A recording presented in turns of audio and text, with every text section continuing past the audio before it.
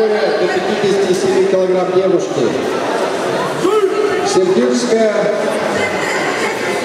Денискова.